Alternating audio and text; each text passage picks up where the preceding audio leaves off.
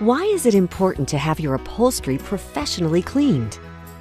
Furniture is one of the biggest investments in any home.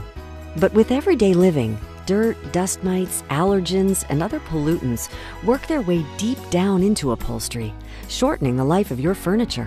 That's where Stanley Steemer can help.